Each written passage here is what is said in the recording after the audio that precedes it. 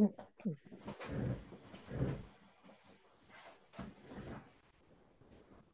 it's 103. I think we're going to start. Hello, everyone. Welcome to the Disability Screens office. It's um, first meet and greet. My name is Audrey. I'm with the CBC helping out today. Um, I just wanted to do a little bit of tech instructions from the top of the meeting. We are recording. You may have seen a message come up. Um, so because we are recording, we would like for everyone who's not a part of the board um, and who's not a part of the accommodations team to please turn off your um, cameras and mute yourself um, so that just the DSO team is on screen at the moment.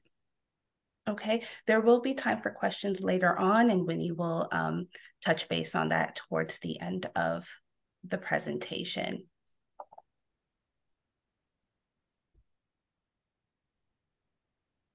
Okay, I'm going to now leave my admit responsibilities and leave that up to you, Audrey. And then I am going to start the meet and greet and we're gonna first have Rachel, thank you. Hello, everyone, and welcome. Uh, my name is Rachel. I'll give a, a, brief description of myself and I'll introduce myself a little bit later, but I am a blonde, uh, blue-eyed woman. I'm wearing some dark lipstick, some beautiful beaded earrings, and a green shirt today. I have uh, some visible scarring, and I would like to begin this session by acknowledging that I'm joining you from my home in Tiohtià:ke, or Montreal, which is situated on the traditional territory of the Kanien'kehá:ka a place that has long served as a site of meeting and exchange amongst many First Nations, including the Kanien'kehá:ka, the Haudenosaunee Confederacy, the Huron-Wendat, the Abenaki, and Anishinaabe. And while we are meeting virtually, we recognize that the Disability Screen Office operates on the traditional unceded ancestral lands of many Indigenous nations across Turtle Island. Recently, I've been reading the book True Reconciliation by Jody Wilson Raybould, and I wanted to share an Anishinaabe creation story that she retells in her book. She talks about uh, the, the creation in all animals trying to service the spirit woman. The beaver was the first to plunge into the depths. He soon surfaced out of breath and without previous soil. The fisher tried, but he too failed. The marten went down and came up empty handed, reporting the water was too deep. The loon tried, and although he remained out of sight for a long time, he too emerged, gasping for air. He said it was too dark. All tried to fulfill the spirit woman's request. All failed, and all were ashamed. And finally, the least of all the water creatures, the muskrat, volunteered to dive. At this announcement, the other create, uh, water creators laughed in scorn because they doubted this little creature's strength and endurance. Had mm. not they, who were strong and able, been unable to grasp the soil from the bottom of the sea, how could he, the muskrat, the most humble among them, succeed when they could not? Nevertheless, the little muskrat volunteered to dive. Undaunted, he disappeared into the waves. The onlookers smiled. They waited for the muskrat to emerge as empty handed as they had done. Time passed and smiles turned to frowns. The small hope that they had nurtured for the success of the muskrat turned to despair. When the waiting creatures had given up, the muskrat floated to the surface, more dead than alive, but he clutched in his paws a small morsel of soil. Where the great had failed, the small had succeeded. As a disabled person myself, I pull a lot of strength from the example of the muskrat. And I leave this uh, story as a list, lesson for the Anishinaabe peoples to remind us and keep in mind the spirit of the muskrat. Thank you.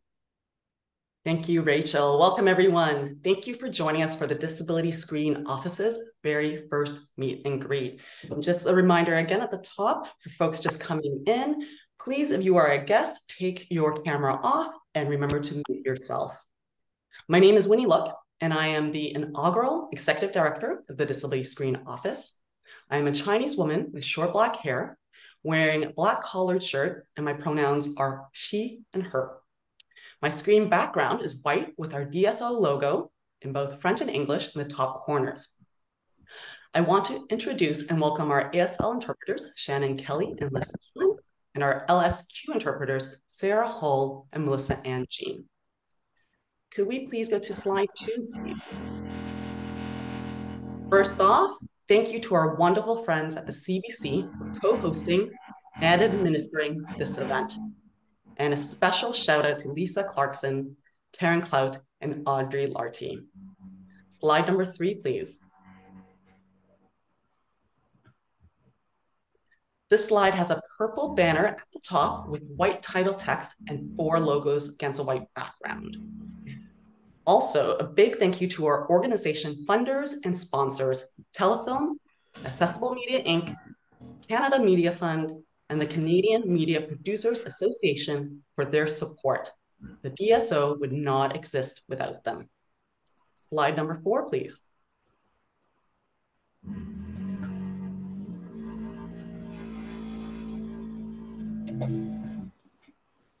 This is our agenda. Purple banner at the top with white text title. Well, agenda. We will be doing the land acknowledgement, which was already done. And then we'll be going to introductions, myself, the board, the strategic priorities, governance. We're going to do an update on activities and our initiatives. And then we're going to give everyone a chance to ask questions at the end. Slide number five, please.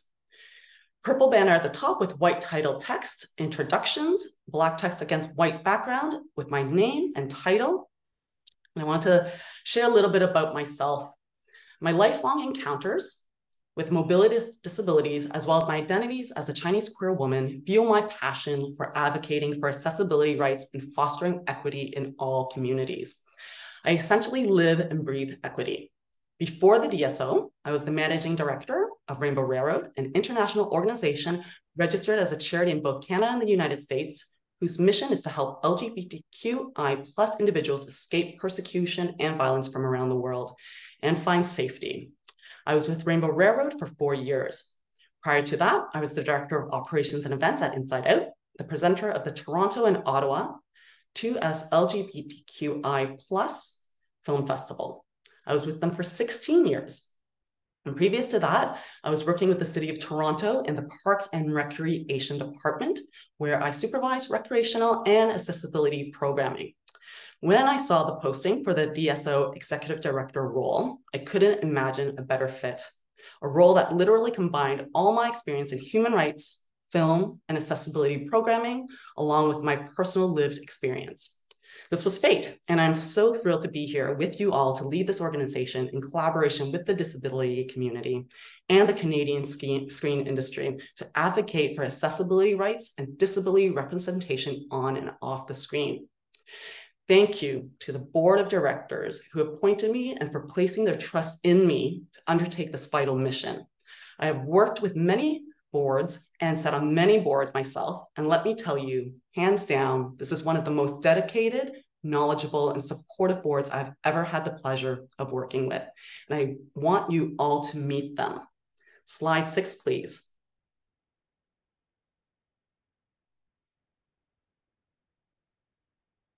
The slide has a purple banner at the top with uh, title text, DSO Board of Directors, black text against a white background with all the names of the board members. I will be calling out to each of the board members to please introduce themselves and also let everyone know why you decided to join the Disability Screen Office Board of Directors. First up, Yasmin. Hello, bonjour. Je vais parler un peu en français pour le début. I'll be speaking a bit in French uh, to start with. My name is Yasmin Laroche, and I'm the chairperson of the board. I'm a woman with clear skin, uh, short hair, uh, dark short hair, and uh, curly. I wear big glasses, and I'm dressed in black. Long career in the federal public service. In my last job, I was the Deputy Minister for Public Service Accessibility, and my mandate was to prepare the entire Canadian Public Service to meet the challenge and the requirements of the Accessible Canada Act. I was the first visibly disabled person to become a deputy minister in the federal government in its entire history. When I was invited to join the board of the Disability Screen Office, I was thrilled because it gave me the chance to combine different aspects of my life, things that I care deeply about. I am passionate about accessibility and about disability representation and about unleashing the amazing talents of the community of people with disabilities in this country. I'm also somebody who has a background in the arts and a deep love of the creative sector. In my youth, I was a musician. I worked in radio and in community television. And I'm so excited about the DSO and what we're going to do together to transform an industry and a sector that needs to recognize and appreciate and, and showcase the talents of this incredible community. And I'm just thrilled to have this opportunity to meet with everybody here today. Thank you. Merci. Thank you, Yasmin. Rayhan. Good afternoon, everyone. Uh, my name is uh, Rayhan Azmat. I'm a South Asian middle-aged man with a mostly white beard. It's wonderful to be here. I I've uh, joined the DSO board with a uh, background in entertainment and media. I started my career uh, earning my chartered accounting designation at PricewaterhouseCoopers. I specialize within the entertainment and media division where I had clients like IMAX and Sony and uh, CanWest and Alliance Atlantis, and then uh, progressed through Cineplex Entertainment, where I've held various positions. Uh, now the Vice President of Financial Planning and Analysis for Cineplex Entertainment. I was diagnosed with a extraordinarily rare muscle condition in my early 20s. Um, it's uh, progressive and degenerative, and uh, I've been fully confined to a wheelchair for the last 10 years. Um, when you asked about why I joined the board, so I'll, I'll share a short story that story goes that when I was in my late teens, I really wanted to be in the film industry. And being the son of a, uh, the eldest son of an immigrant father, my father said, nope, you're going to be an accountant or a doctor or an engineer. I really love film. So I found my way through accounting and finance into the film industry. I'm very, very much in, in love with my job. But it was about 10 years ago when I did first fully get confined to the wheelchair. My father said, Aren't you glad that you didn't uh, end up going into the film industry because the wheelchair would have made things quite difficult. That made me think. And uh, that in itself, uh, when you think about it, is why I'm here at the DSO today. So thank you very much for the opportunity. It's a wonderful board to be a part of, and I look forward to meeting you all in person as well. Thank you. Next up, we have Ken. Well, good morning, everyone. Uh, pleasure to be here. I uh, speak to you from uh, Treaty 6 uh, territory, which is Saskatoon, Saskatchewan, where I'm visiting my mother, uh, 99 years old, and enjoying my time here back in my home city of Saskatoon. I live in Toronto. Uh, I'm now retired as a partner and as general counsel at Deloitte. this morning, I'm wearing a green t shirt. I have dark rimmed glasses and I'm I think the only typically able uh, person on the uh, on the board of the DSO. Um, my role is around governance. Uh, I was secretary to the board at Deloitte for 20 years. I did a lot of governance work. I also chaired uh, two boards, the Learning Partnership and the Ethics Center boards. So I've got uh, considerable experience in the not-for-profit world. I echo Winnie's comments. This is a phenomenal board, uh, hugely diverse and wonderfully talented. And it's a true pleasure to work with all of them. When I was asked to serve on the board, uh, it was an easy answer to say yes. Uh, 10 years ago, I was chair of a panel for the federal government, which looked at employment of people with disabilities in the private sector. Uh, since then, uh, as people know, I've been on a journey uh, I think this is probably the most important thing for the Canadian economy and the Canadian society is is the full inclusion of people with disabilities. This is one part of it, but it's a very important part of it. Um, I am now retired. I am managing director at the Return on Disability Group, uh, working very closely with Rich Donovan, whom many of you probably know. Thanks, Winnie. Thank you, Ken.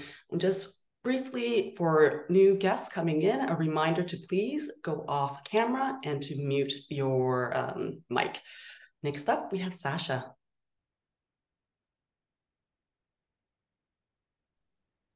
Almost forgot to unmute myself. Um, hi, everyone. I'm Sasha Boersma. I use she, her pronouns. I am a white, middle-aged woman with blonde hair, might see some pink and purple on Zoom. I'm not entirely sure. Uh, I'm wearing glasses, a dark gray top, and uh, you may also catch a glimpse of the red dress pin that I'm also wearing made of red dyed sealskin and white and red beads.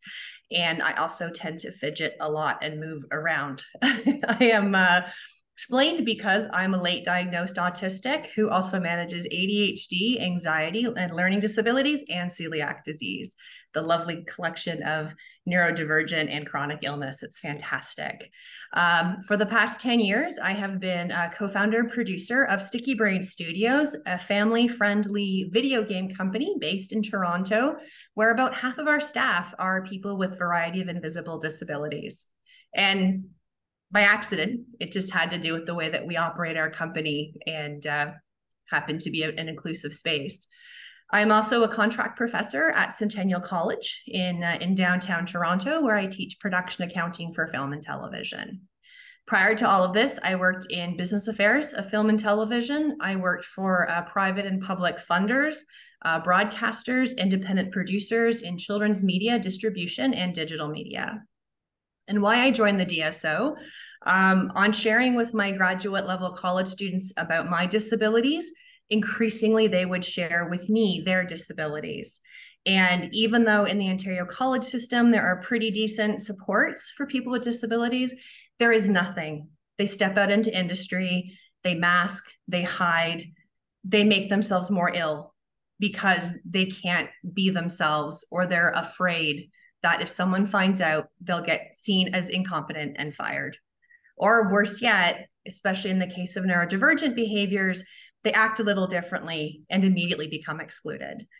And it was through hearing those stories over and over again that a year ago I went that I, I need to get involved with DSO. I saw the Accessibility Lab program announced with ReelAbilities Film Festival. And I went, yeah, that's the work that needs to be done in this industry. And that's where I want to put my advocacy efforts. And that's why I'm here. Thank you, Sasha. Rachel. Bonjour tout le monde. Um, just a reminder for my Francophone friends, if you'd like to listen to the translation in French, uh, there is a little globe icon at the bottom of your page. You can click interpretation and hear uh, French translation.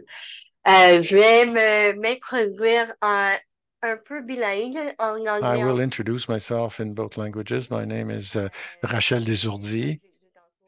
As I said uh, previously, I'm a woman, a white woman, uh, uh at the beginning of uh, my 30s. Uh, I have curly hair.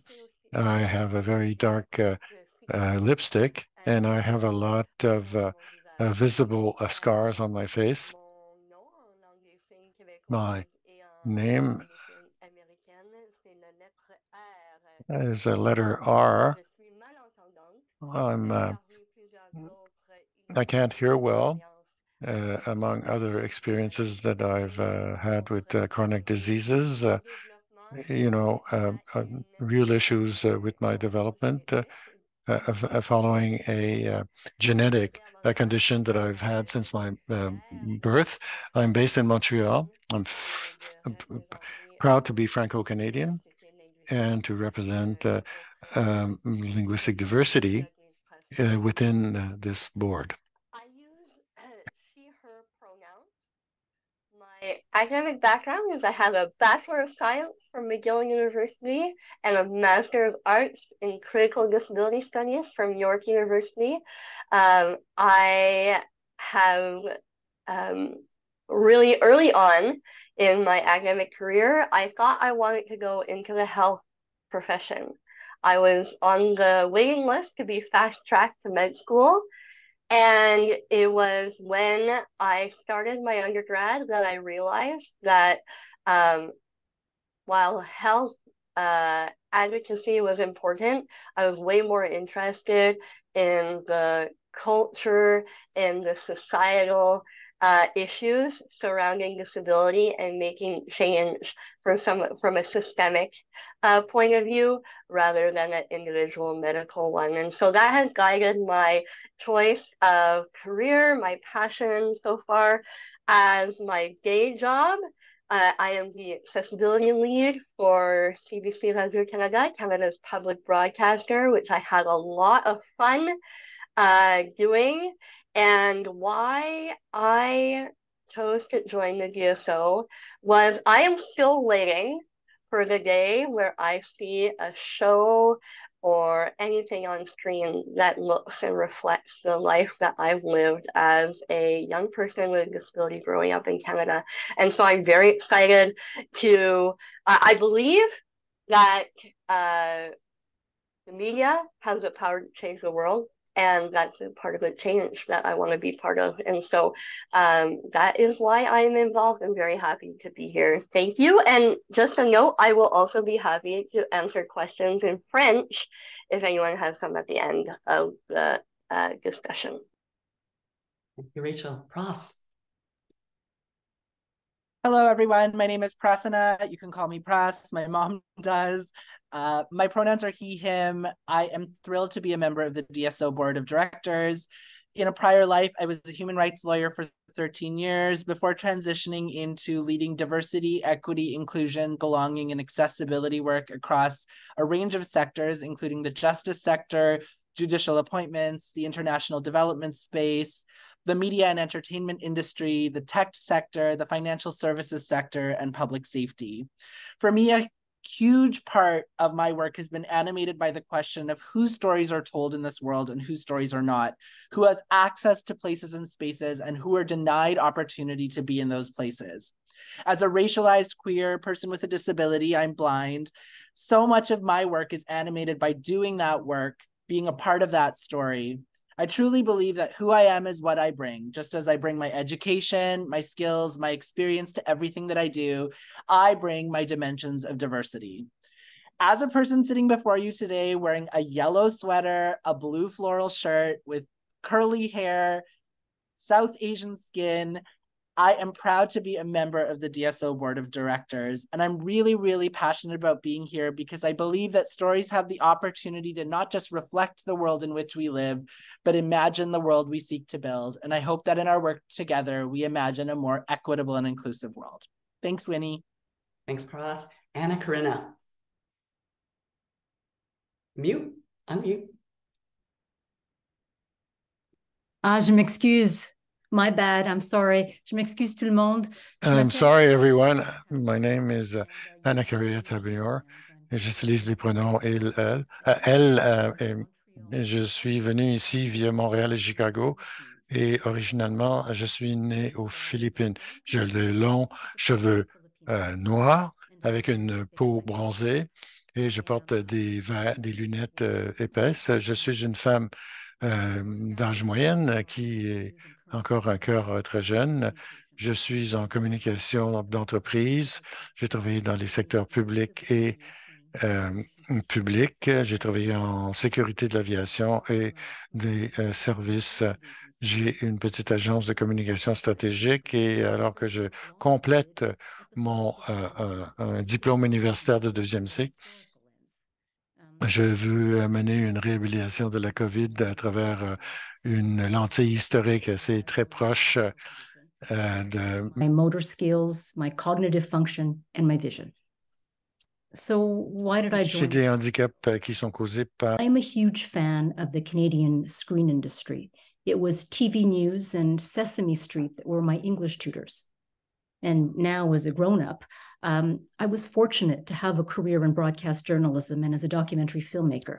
I understand firsthand the barriers to entry and success in the screen industry. So, working with the DSO, I want to make sure that my experience is not the exception, but the rule, and that people who look and sound and operate differently have a meaningful place in the screen industry. Euh, je faisais la plupart de mon travail en anglais et euh, aujourd'hui, Most of my et améliorer mon was français. uh, in English, uh, but be a pleasure for me to improve my French. And uh, but now I'd like to hand over the mic to uh, Yasmin, the uh, board, uh, the, the uh, chairman of the board. Chair of the board, Yasmine Laroche. Merci, Anna Karina. Um, so if we, yes, we have slide seven up. That's great. So I'll just uh, read to you what you are, what is on this slide. Uh, there's a purple banner at the top with white title text saying Disability Screen Office. And then this slide is about our mission and vision. And so the text tells us what the mission and the vision is of the DSO. And I will read this for you. The Disability Screen Office is a national disability-led, not-for-profit organization that works with the Canadian screen industry to eliminate accessibility barriers and foster authentic and meaningful disability representation on and off the screen. And our vision is to realize a Canadian screen sector that is fully inclusive and accessible. And you've heard from our various board members why we're so excited about this vision and this mission and why we're so committed to it. Let me tell you a little bit about the history. Uh, we're so new. We are a startup. There's no doubt about that. We are in startup mode right now.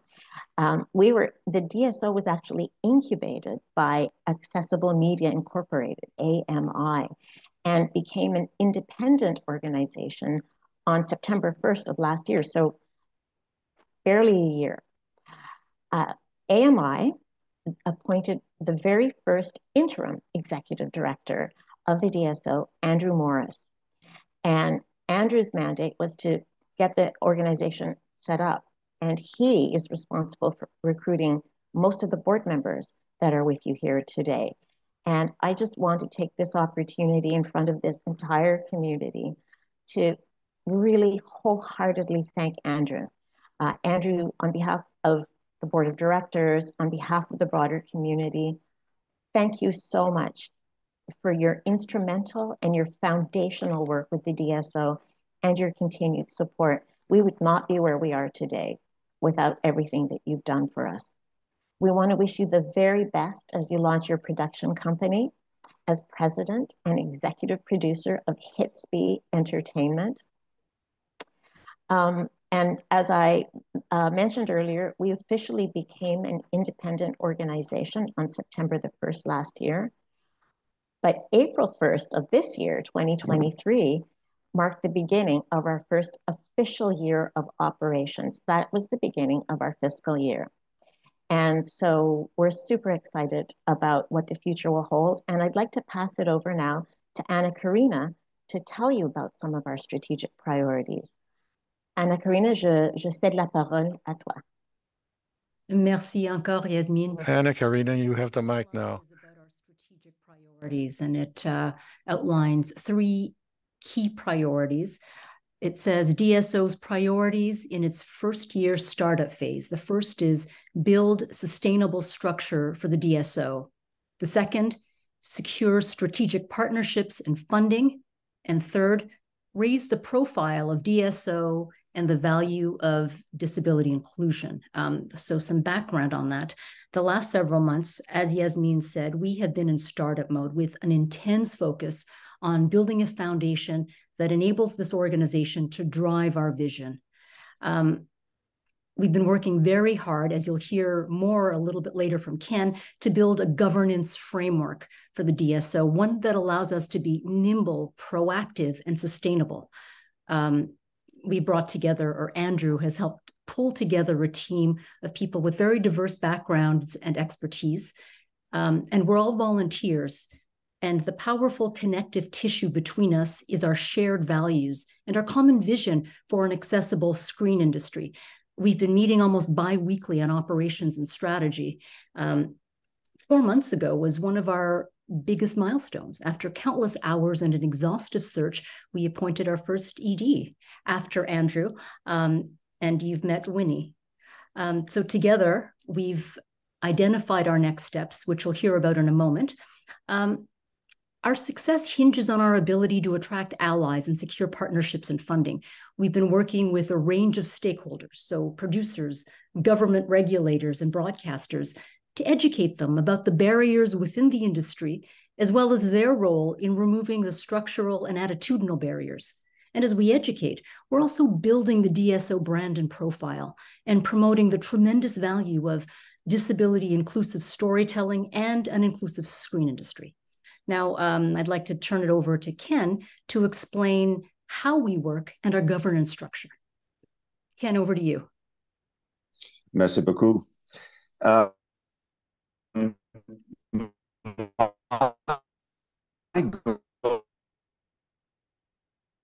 as chair of the governance at the DSO. Uh, uh, so uh, not for profit struggle with a governance model that is sustainable and will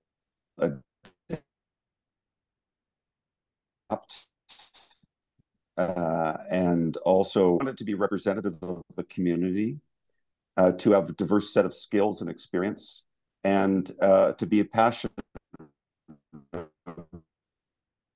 about yes mission, which you've heard from uh, on majority of which uh, and All right, yep. in and out. If you maybe you, take off uh, your uh, video and it might help with the connection. Thank you. Did we fully lose Ken?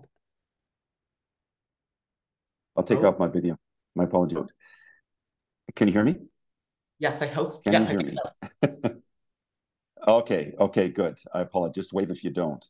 So there'll be a 12 person board, the majority of which uh, will be people with disabilities.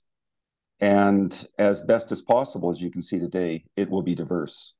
We're going to build in succession, and we're probably going to do that through um, a limit of two terms of two years each, uh, so that we get turnover on the board, which is which is important uh, for uh, an effective, healthy board.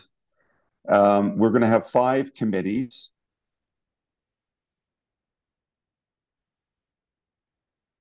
which will be composed both of board members and also uh, the committees will be the finance committee, the governance committee, the talent committee, marketing and communications, and funding and partnerships. So those are the five committees. Um, the status today, uh, we're near final on various board policies. Uh, you can imagine there'll be a number of board policies, the mandate for the board, and the establishment of the committees. Uh, board so those are near final. Mind to populating the committees, which may be of interest to you. Uh, stay tuned on that front. Uh, we'll be getting further information out to you. But also reach out to Winnie if you're interested. And uh, again, we're going to set up committees that are representative of the community. I'll stop there. Thanks, Winnie. Thank you, Ken. Next slide, please. Slide 10. The one before, please. Thank you.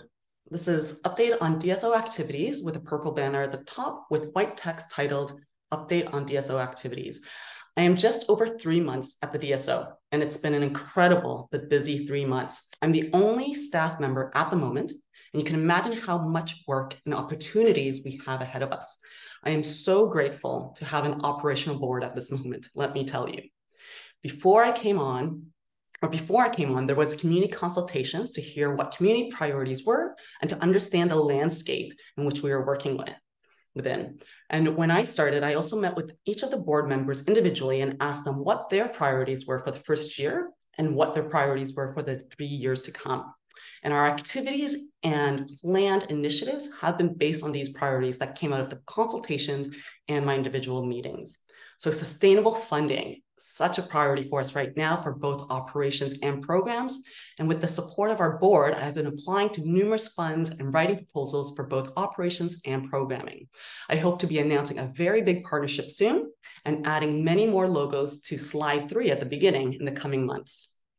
Community engagement, building relationships, partnerships, and collaborations, building our brand and reputation as subject matter experts and as a trusted resource, for all things disability related in the Canadian screen sector and to be recognized as a model for accessibility and disability work internationally. I had essentially hit the ground running from day one, where I participated on the CBC and CMPA one-stop shop panel on my very first day, literally within my very first few hours in this role. I produced and moderated a panel at the Sears Toronto International Film Festival just a couple of weeks ago called Breaking Barriers, Shattering Ceilings, Advancing Accessibility and Inclusion for People with Disabilities in the Screen Industry with our esteemed board members, Sasha and Prasanna, as well as industry and disability leaders, Ophira Calof and Megan McTeer. And just yesterday, I spoke on a panel at TO Webfest called Making Productions Accessible. So just to name a few panels that I've already participated in. I've also been sitting on various roundtables across the country. I've been consulting on events, projects, and reports, as well as writing support letters for others to apply for accessibility funding. I've met with countless community members, organizations, and other equity seeking or, or groups, recognizing that intersectionality is key in our work and that disability intersects with every community and identity. Everyone at one point in their lives will have a disability. Breaking down accessibility barriers is, is good for everyone. And accessibility rights are human rights. The DSO is in startup mode, and it's important to me to meet as many people as possible right now, not only to introduce them to what we are doing, but to partner with them and credit and spotlight other organizations supporting this work as well. Collaborations are crucial to the DSO's success and longevity. Another priority is being at government roundtables informing policy. We submitted responses to both the CRTC and Canadian Heritage for the modernized policy framework as an outcome of Bill C11. This also took place within my first couple of weeks, and I myself learned a lot from this process. Another priority is representation nationwide. In my first week, I flew to Banff to represent DSO at the Banff Media Festival, where I met with industry leaders and representatives from across the country. This was very inspiring and meaningful for me to get to meet folks from Canada screen industry wanting to support the DSO and help us or help set us up. This trip made me very optimistic for the future of our work. I will be flying to Vancouver next week to represent DSO at Vancouver International Film Festival. And the CMPA and Creative BC has graciously offered to host me in a casual in-person meet and greet on October 3rd, 12 noon Pacific time. And in November, I'll be heading to Montreal for their International Documentary Festival. And at the end of January, we'll be participating in CMPA's Prime Time in Ottawa. We'll be bringing a delegation as well. And thank you to Warner Brothers Discovery Access Canada for sponsoring the DSO and a delegation to attend and participate. It is a priority of the DSO to make sure we meet and work with and represent people from across the country, coast to coast and north, and working and collaborating with people and communities within those provinces and territories. We recognize that each province and region is unique and might have different ways of working. So we want to respect that and listen and support them as best we can. We're in the midst of developing a communications plan, which is fluid in nature and will help guide us as we build our communication tools and channels. Capacity building. This is so important. Building our operations, our infrastructure, our talent, and developing policies and procedures. Please keep an eye out. We will be posting for a couple of paid part-time roles to support the DSO as we are building our organization and activities. Slide 11, please. I want to pass this on to Sasha to talk about our initiatives that we are hoping to launch development this year. Excellent. Thank you, Winnie. And we'll stay top level with this uh, just so we have enough time to make sure that we get in any questions that might come up. On this slide, slide 11, the purple banner at the top reads DSO initiatives. Uh, and the three points that we have are point one, best practices guide to disability engagement in the Canadian film and television industry, research project phase two. Initiative number two is the industry resource hub. And initiative number three are job descriptions and training for a production accessibility role. For the best practices guide to disability engagement in the Canadian film and television industry, we started initially with phase one support, uh, and I with thanks to um, the CMF, so that we could scope out what needed to be done with this. There is no research out there that fully collects how many people with disabilities are working in the industry, let alone where the people not working in the industry. We've been very actively working with uh, funders across the country to raise the financing needed to be able to uh, make this happen. We are working with Nordicity uh, to build the surveys and the roundtables. And hopefully by the end of this year, we will be able to make more of a splash with it, with more information out to the community, including getting your feedback and your input of your experiences. Activity number two with the Indoor Industry Resource Hub the thing that we keep hearing is how do I find a and the resource hub is the step one to that uh, to make sets more accessible, to collect reports, best practices that already exist around the world. And so, our phase one to this is building the database structure as well as collecting uh, service providers, research information, et cetera. So that way, this is at the fingertips of producers, directors, writers, production managers and anyone else in the industry looking for more information about disability and accessibility. When that is complete, then we will look ahead to phase two and start to consider uh, building it out to include a human resource uh, as well for people looking for talent with disabilities. For initiative number three, I'm going to uh, throw it over to Prasanna to explain further. Thank you so much, Sasha. So when it comes to the production accessibility coordinator role, this is a role in a framework that was established in the United States and has been gaining slow traction across different productions.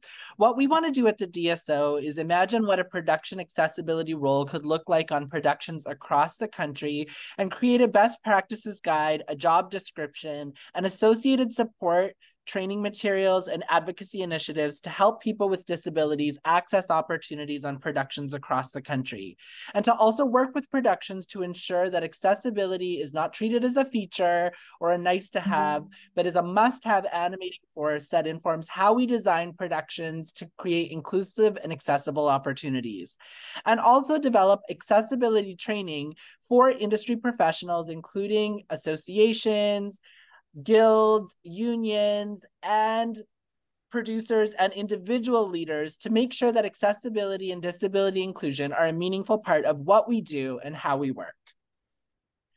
And with that, I will turn it over to Yasmin, who will be moderating the question and answer component, where we want to invite all of your questions to make sure you have a great understanding of how the DSO operates.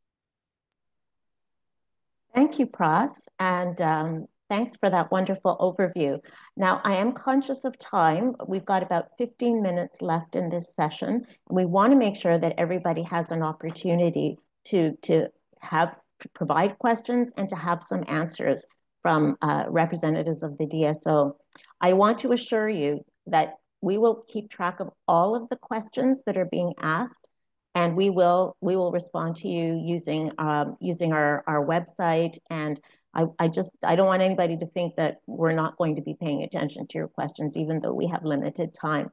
So what I'm going to ask you to do is to use the chat function, please, um, if, if you can, to put your question uh, to, to us, and we'll shoot it to different members of the board and to Winnie, depending on the question. Um, if that doesn't work for you, if the chat function is not um, accessible for you, then uh, please use the um, please use the uh, reaction mode to put your hand up. And uh, that will also identify us in terms of having questions. So I'm going to kick it off because we do have, oh, look at this. We're getting a whole lot. I'm going to start off with this one because I think this is the burning question. And um, Rehan, I'm putting you on notice. This question is for you. Uh, it comes from Stephen. How much funding do you have and how stable is it? And I think that is a great question. Thank you so much for asking. Rehan, can I can I ask you to uh, take that Absolutely. question, please? As treasurer, that would be my duty. Thank you, Yasmin. Uh, you know, so that's an opportunity. We talk about this being a foundation, the foundational funding that came from Telefilm and the CMF with uh, in conjunction with AMI. This was great to get us started. We are very, very much in startup mode, um, which means that we're looking at two different ways of funding. The first way of funding really comes from the unrestricted fund to allow us to actually get our operations on the move. So that is not restricted to specific projects that we went through earlier, but actual funding to get our office set up. Our primary um, source of uh, expense is our um, is our staffing, of which there is one in Winnie. Um, but as we get additional operational funding, we'll continue to grow the office. The second source of funding, which is the uh, restricted funds, as we refer to it, which is for direct projects, there's a portion of that that allows for this office to also use for administrative purposes. But really, right now, we're looking for that foundational funding that will allow the office to continue to grow. So to answer your question more directly, Stephen, we do have a runaway of a few months to continue to operate, but it's going to be very, very critical, as was number one uh, objective that was stated earlier in the presentation, for us to ensure that we have operational funds for us to continue to grow the organization and then execute on our mandate. I hope that answers your question. Thank you, Rehan. Uh, I have another question here that I'm going to ask Sasha to take. Um, it, it, comes from Landon. And uh, Sasha, do, you, do we have any plans to initiate grant programs for disabled filmmakers, whether for short films development, documentaries, series, or features? Sasha, can you answer that? I I sure can. So the to build funding programs, we need to raise funding from other sources. There is a lot happening right now as part of the modernization of the industry. That's an outcome of Bill C11. And there's a few options, which is does the DSO create a fund and and try to get people to contribute to it or do we work with the existing funds to ensure that they are more aware and inclusive of, of people with disabilities accessibility needs et cetera at this point we're looking at both options we are actively working with the funding agencies telefilm cmf ontario creates creative bc the private funds to talk about how do we make them more accessible and more supportive of creators with disabilities. At the same time, we've asked the CRTC to leave the door open to allow for opportunities of new private funds in which case we find that there are specific needs still required by people with disabilities and then be able to tap into you know the supports from streamers whatnot to create funds specific. So as yasmin said we're still new. We're only a year into it. Uh, lots is happening in the industry and we are on top of it but it does take time the first step will probably be working with the existing funds and make them as supportive and accessible as possible while we also work through the CRTC on any new funding opportunities. Thanks so much, Sasha. I've got a couple of questions here that I'm going to bundle and I'm going to ask Winnie to take it because they're about communications and engagement. So, um, for, so I'll put them together. Is there a way for industry members to opt in for future communications from the DSO? And how can we stay up to date on upcoming job opportunities within the DSO? Winnie? Wonderful. So right now, our primary communication tool is our e-newsletter. So when you go to our website, and at the very end, you'll have a final slide with an email and our website posted. But our website is used right now as one, it's a landing page, but two, you can sign up for our e-newsletter. So that is our primary um, communication channel.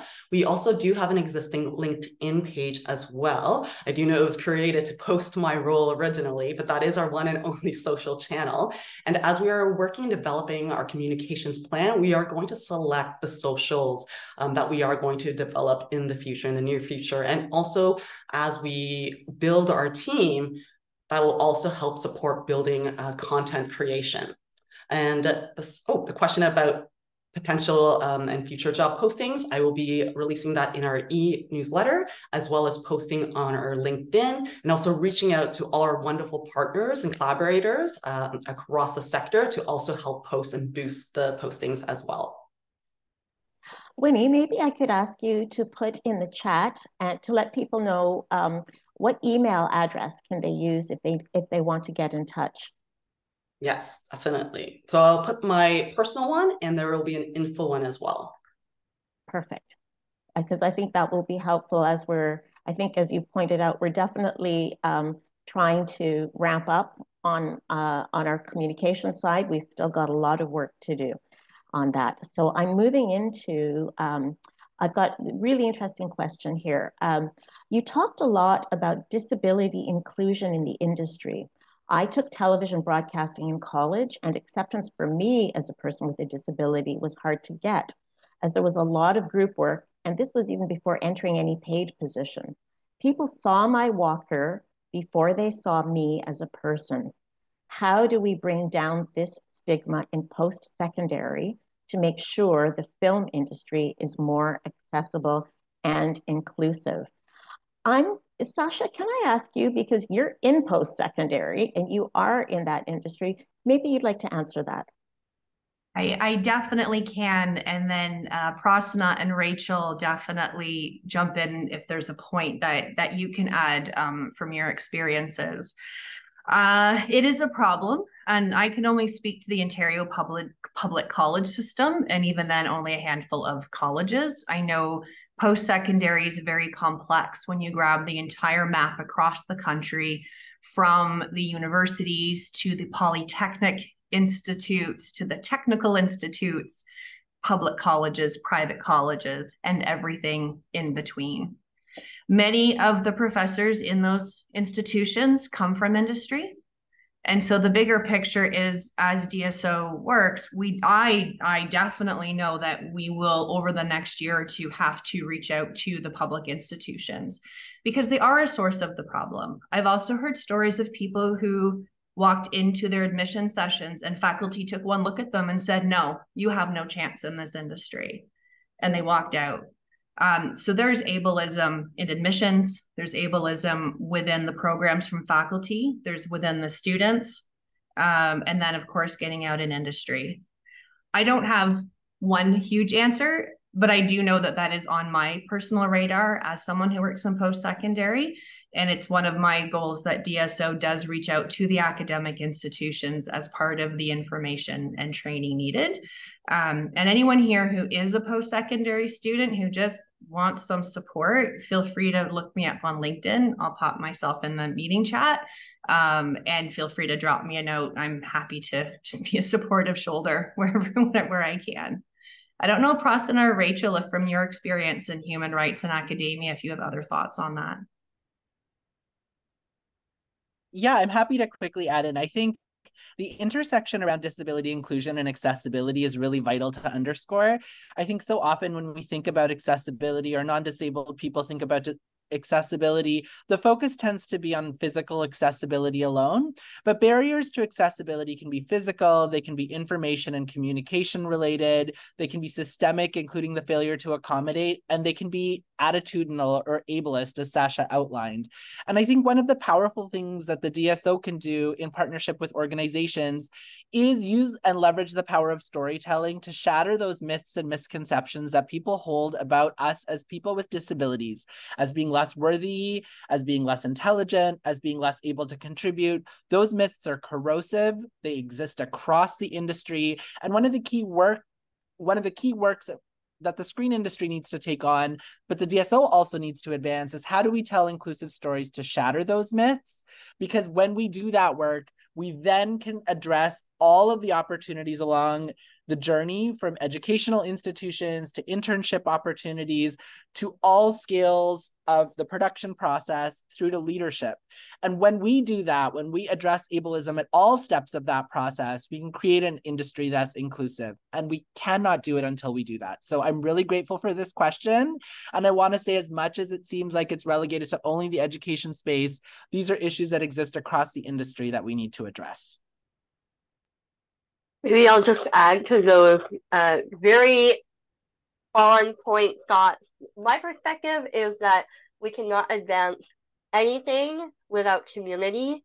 And I think that's one of the strengths of the Disability Screen Office is finding a place for people to bring these barriers that they're experiencing, for us to uh, show counter examples. You know, um, with every struggle, there's someone who is the first somewhere, and we can, uh, you know, use that as a way to leverage and to create more access and more opportunities and more representation for others. And I think that that's one of the promises of the DSO is that the potential for uh, that those community connections so that we don't have to experience barriers in isolation. So that would be my addition Thank you, Rachel. Thank you, Pras. Um, nous avons reçu une question avant cette émission et je voulais la partager. Je vais, uh, we got a question, and I'm going to ask this question before Rachel. How are you going to make sure that you will uh, represent the uh, French-speaking sector in Canada? That's an excellent question. Thank you for that question. Rachel, so, the mic is yours. Uh, um, because we are a pan-Canadian organization, it's very important for us to represent uh, uh, linguistic the linguistic diversity, which includes uh, French speakers and uh, the uh, media industry in Quebec. And there are two things that we're doing right now, which which highlight our priorities. The first one is to ensure a uh, French uh, representation or well representation of French speaker on the board. Uh, our board uh, still have places to fill, and we are looking for uh, uh, French speaking representatives that would be interested to sit on this board. And so we are inviting you, if you are personally interested or know somebody who would be interested, that you communicate uh, th those names to us because that's one of our priorities. Secondly, our uh, research project, which was uh, unveiled uh, earlier on, will uh, make sure that uh, we look at the nuances within the creative community in, in the French sector in Canada, including within the uh, English part of that industry to make uh, sure that we can identify what's at stake here and the issues and the opportunity that uh, are um, offered to us. So those two things uh, are things that are uh, at the forefront right now. I, am very conscious of time, and I know we having to drop out already because we only blocked an hour. I'm thrilled by the feedback that we've gotten and what a wonderful uh, chat that we're having. Uh, we're definitely going to hold on to this. We're going to hold on to the questions that you've sent us. Um, we have on the screen now how you can contact us. Um, so email info at dso hyphen orphe dot ca or you can sign up for our e-newsletter list, www.dso-orphe.ca. And Winnie, can I throw it back to you to, to yes. wrap up what's been a great conversation? And for sure, we'll be getting back to people with responses to the questions we weren't able to get to today. Thank you, Yasmin. Thank you, everyone, for your wonderful questions. And just thank you for joining us today. You know, join our DSO journey as we build this organization together with all of you. And this is only the beginning. We will be hosting more meetings to come. So please stay tuned to gather more feedback and to hear from you. And again, thank you, thank you, thank you for joining us today. And I hope everyone enjoys the rest of their afternoon. Take care. Bye bye.